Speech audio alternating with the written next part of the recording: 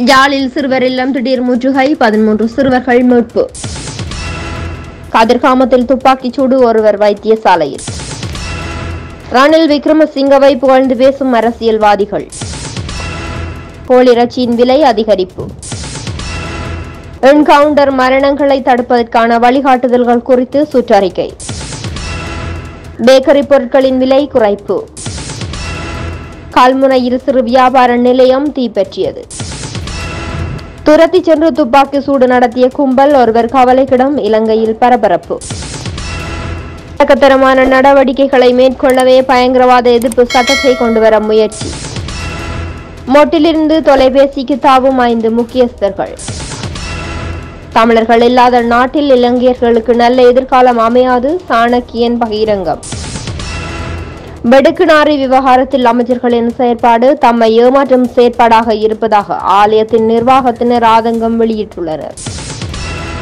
கல்முனை மாநகர சபைக்குட்பட்ட கடற்கரை பள்ளி வீதி ஆட்டோ பசார் சந்தையில் வாழைப்பழம் மற்றும் இடியப்பம் விற்கும் கடையொன்று இன்று பிற்பகல் இரண்டு மணியளவில் தீப்பற்றி எரிந்துள்ளது. வாழைப்பழத்திற்கு புகை வைக்கும் போது ஏற்பட்ட தீக்கசிவு காரணமாக மேற்படி தீ விபத்து ஏற்பட்டிருக்கும் என சந்தேகிக்கப்படுகிறது. இப்பரவல் காரணமாக கடையினுள் இருந்த வாழைப்பழம் மற்றும் மேனிய பொருட்கள் முற்றாக சேதமடைந்துள்ளதுடன் கல்முனை மாநகர சபையின் தீயணைப்பு படையினர் ஸ்தலத்திற்கு விஜயம் செய்து தீயினை கட்டுப்பாட்டுக்குள் கொண்டு வந்துள்ளனர். இது தொடர்பான மேலதிக விசாரணைகளை கல்முனை போலீசார் மேற்கொண்டு வருகின்றனர்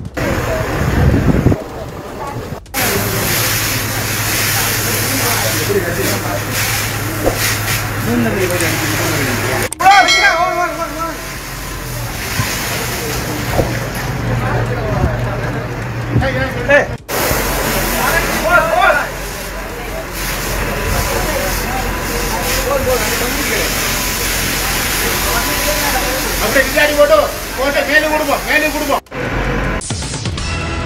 முட்டை ஒன்றின் விலை முப்பத்தைந்து ரூபாவாக குறைக்கப்பட்டால் பான் தவிர்ந்த ஏனைய பேக்கரி பொருட்களின் விலை குறைக்கப்படும் என அகில இலங்கை பேக்கரி உரிமையாளர்கள் சங்கம் தெரிவித்துள்ளது. இந்தியாவிலிருந்து இறக்குமதி செய்யப்பட்ட முட்டைகள் கிடைத்துள்ள நிலையில் ஒரு வாரத்திற்குள் முட்டை சந்தையில் ஏற்பட்டுள்ள பிரச்சினைகளுக்கு தீர்வு காணப்படும் என நம்பிக்கை வெளியிடப்பட்டுள்ளதாக சங்கத்தின் தலைவர் தெரிவித்துள்ளார். எரிபொருட்களின் விலை குறைந்தாலும் பேக்கரி பொருட்களின் விலைகள் குறைக்க முடியாது என மேலும் தெரிவிக்கப்பட்டுள்ளது.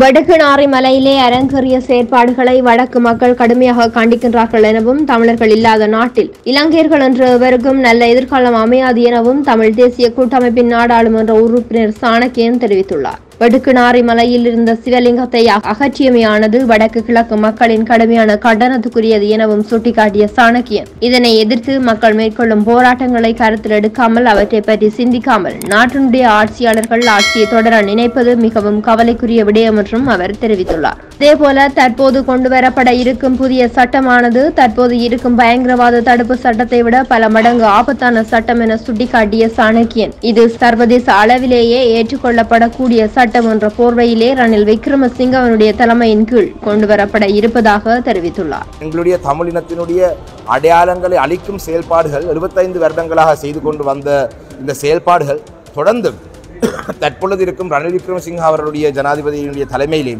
இவ்வாறான விடயங்கள் தொடர்ச்சியாக நடக்கிறது. மிகவும் வேதனையான ஒரு விடயம்.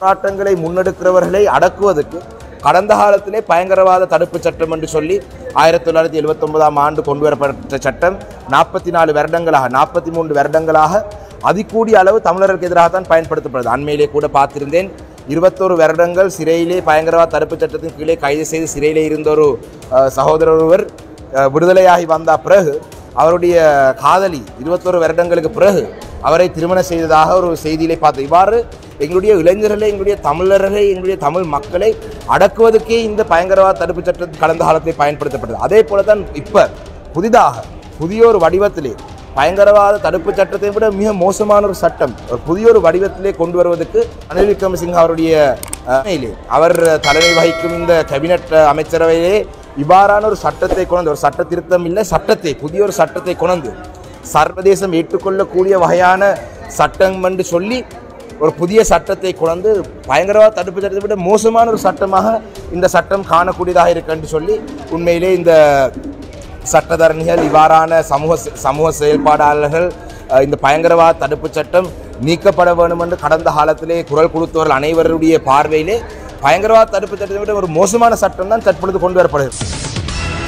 கதிர்காமம் பழைய ஏழுமலை வீதியில் இடம்பெற்ற துப்பாக்கி சூட்டில் ஒருவர் காயமடைந்த நிலையில் வைத்தியசாலையில் அனுமதிக்கப்பட்டுள்ளார். இந்த துப்பாக்கி சூட்டு சம்பவம் இன்று பிற்பகல் இடம்பெற்றுள்ளது.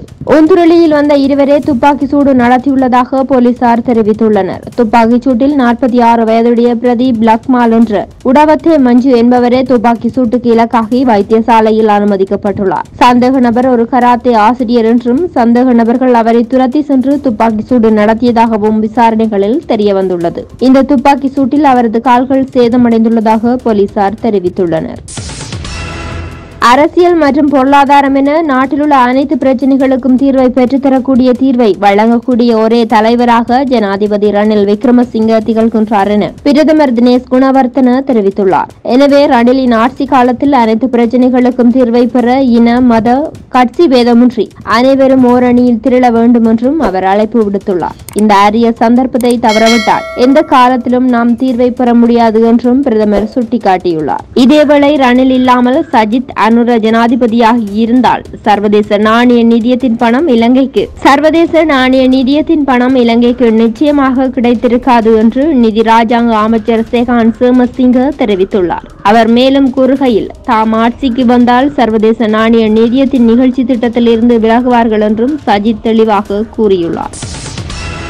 யாழ்ப்பாணம் இருபாலையில் கிறிஸ்தவ சபை ஒன்றினால் அனுமதியின்றி நடத்தப்பட்ட சிறுவர் இல்லம் முற்றுகையிடப்பட்டு அதில் இருந்த பதிமூன்று சிறுவர்கள் மீட்கப்பட்டுள்ளனர். கோப்பாய் போலீசார் மற்றும் சிறுவர் நன்னடத்தை அலுவலர்களினால் இன்று முன்னெடுக்கப்பட்ட நடவடிக்கையில் சம்பவம் தெரிய வந்துள்ளது யாழ்ப்பாணம் இருபாலை பகுதியிலுள்ள கிறிஸ்தவ சபை ஒன்றினால் அனுமதியின்றி சிறுவர் இல்லம் நடத்தப்படுவதாக கிடைத்த தகவலின் அடிப்படையில் கோப்பாய் போலீசார் மற்றும் சிறுவர் நன்னடத்தை அலுவலர்கள் விரைந்து நடவடிக்கை எடுத்துள்ளனர். மீட்கப்பட்ட சிறுவர்கள் துன்புறுத்தப்பட்டதாகவும் உரிய வகையில் உணவு வழங்கப்படவில்லை என்றும் விசாரணைகளில் தெரிய வந்ததாக போலீசார் தெரிவித்துள்ளனர். இதன்போது சிறுவர்கள் மருத்துவ அறிக்கைக்காக யாழ்ப்பாணம் போதனா மருத்துவமனை சட்ட மருத்துவ அதிகாரியிடம் முற்படுத்தப்பட உள்ளனர். சிறுவர்கள் சட்ட மருத்துவ அதிகாரியிடம் முற்படுத்தப்பட்டு மருத்துவ அறிக்கை பெற்றதன் பின்னர் யாழ்ப்பாணம் நீதவான் நீதிமன்றில் முற்படுத்தப்பட உள்ளனர்.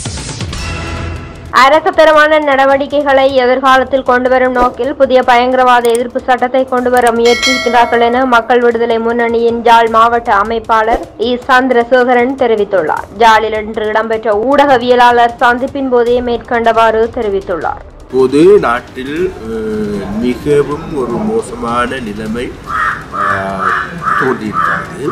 அந்த தோன்றுதலுக்கான முக்கியமான காரணமாக இன்றைக்கு எங்களுக்கு எல்லோருக்குமே தெரியும் ஜேஆர் ஜெயவர்தனாவன் அதாவது ரணில் விக்ரமசிங்காவின் மாமனார்கள் ஆயிரத்தி தொள்ளாயிரத்தி எண்பத்தி எழுபத்தி ஒன்பதாம் ஆண்டு கொண்டு வரப்பட்ட பயங்கரவாத தடுப்பு சட்டம்.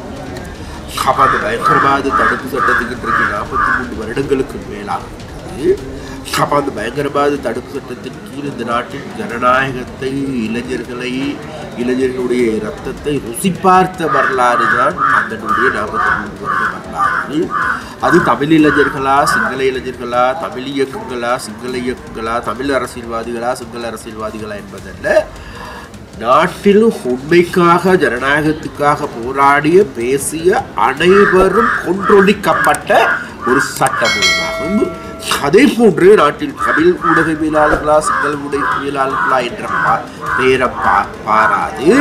நாட்டில் இருக்கின்ற உண்மையை பேசுகின்ற இந்த நாட்டில் லஞ்ச ஊழல் முரசடிக்கு எதிராக குரல் கொடுத்த நாட்டின் ஆளும் தரப்புக்கு எதிராக குரல் கொடுத்த அவர்களுடைய மோசடியை அம்பலப்படுத்திய அனைத்து ஊடகவியலாளர்களையும் கொன்றொழித்து காவு கொண்ட ஒரு சட்டம் மூலமாகவே இந்த பயங்கரவாத தடுப்பு சட்டத்தை எங்களால் காணக்கூடியதாக இருக்கும் ஜனாதிபதி ரணில் விக்ரமசிங்க பங்களிப்பு வழங்கும் ஸ்ரீலங்கா பொதுஜன பெரமுன அரசாங்கத்திலிருந்து ஐந்து முக்கிய உறுப்பினர்கள் ஐக்கிய மக்கள் சக்தியில் இணையலாம் என்று எதிர்ப்பு கூறப்பட்டுள்ளது. தற்போது இதற்கான பேச்சுவார்த்தைகள் இடம்பெற்று வருவதாக தகவல்கள் தெரிவிக்கின்றன. இந்த விடயத்தில் இறுதியை அடைவதற்கு சிறிது காலம் எடுக்கும் என்று அரசாங்கத்தின் முக்கிய உறுப்பினர் ஒருவர் ஆங்கில ஊடகம் ஒன்றிடம் தெரிவித்துள்ளார். பேச்சுவார்த்தைக்கு இடையூறு விளைவிக்கும் என்ற அடிப்படையில் பெயர் குறிப்பிட விரும்பாத அவர் சம்பந்தப்பட்டவர்களின் பெயர்களுக்கும் பெயர்களும் ரகசியமாக வைக்கப்பட்டுள்ளன என்றும் அவர் தெரிவித்துள்ளார். ஜனாதிபதி ரணில் விக்ரமசிங்கவின் பொருளாதார மீட்சி கொள்கை தொடர்பில் சம்பந்தப்பட்டவர்கள் எவரும் வேறுபட்ட கோரிக்கைகளை முன்வைக்கவில்லை என்றும் அவர் கூறியுள்ளார்.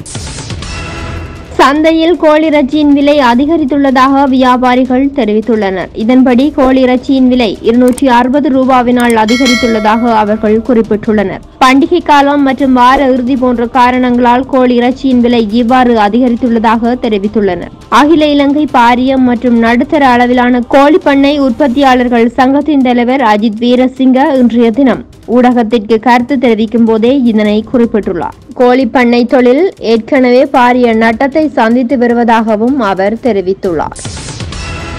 போலீஸ் காவலில் இருக்கும்போது சந்தேக நபர்களின் என்கவுண்டர் என்ற எதிர்பாராத மரணங்கள் ஏற்படுவதை தவிர்ப்பதற்கான வழிகாட்டுதலை போலீஸ் அதிபர் சந்தன விக்ரம ரத்ன சுற்றறிக்கையாக வெளியிட்டுள்ளார். புதிய வழிகாட்டுதல்களின்படி காவலில் உள்ள சந்தேக நபர் விசாரணைக்காக போலீஸ் நிலையத்தில் இருந்து வெளியே அழைத்து செல்லப்படும் எந்த ஒரு நிகழ்வையும் காணொளி பதிவு செய்ய ஒரு போலீஸ் அதிகாரி நியமிக்கப்பட வேண்டும். இவ்வாறான காணொளி பதிவுகள் சந்தேக நபர்களுக்கு எதிராக நீதிமன்றத்தில் சாட்சியமாக பயன்படுத்தப்படும். அத்துடன் போலீஸ் விசாரணைகள் தொடர்பில் வெளிப்படை தன்மையை உறுதிப்படுத்தவும் இது உதவும் என்றும் போலீஸ் மா அதிபர் தெரிவித்துள்ளார்.